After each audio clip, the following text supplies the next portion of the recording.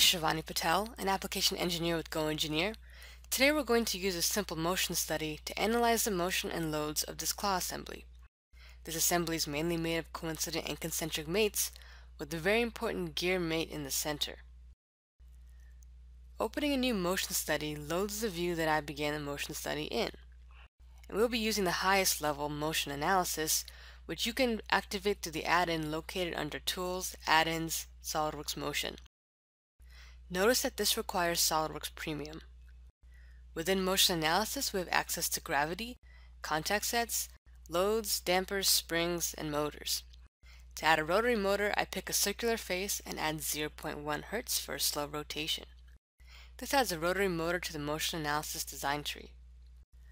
I need to see the gears move based on their geometry and not the gear mate. Since motion imports all mates, I need to go into the mates folder and suppress the gear mate.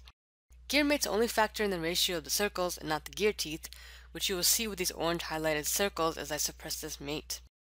Supplying a no penetration contact will allow the geometry of the gear teeth to drive the motion. I should also add contact between the two claws so the motion study will know when they collide. That's the basic setup. So we can run the calculation by clicking the icon in the left-hand corner. Since I've set the animation to play as the study calculates, we can see that the gears will work as designed. Now watch as the motion study slows for a moment as it calculates the claw's motion and then allows the claws to move through each other. To see this interference with better detail, right-click the top-level component and scroll to check interference. When you do this, be sure to have the gray line at the end of the animation. Alright, let's check the two claws. Clicking Find Now runs through the existing calculation and saves any frames that are touching or interference. I'm interested in the stresses when they first touch, so clicking jumps to that frame and now I'm going to use it to bring it into simulation. I could potentially set a time frame, but for speed I'll just use one frame. Simulation prompts me to include a material, so I will click yes and apply ABS plastic. The standard ABS does not include yield strength, so I've created a custom material to include it. After this loads, the next simulation icon activates and it's going to rerun the motion study to gather the loads. While this loads, let's go ahead and look at a few of the other symbols. My orientation and camera view icon is crossed out. This means that even if I rotated the view or moved my parts, the motion study would reset to the original orientation. If I want to change this, I would use the update key after making my orientation changes.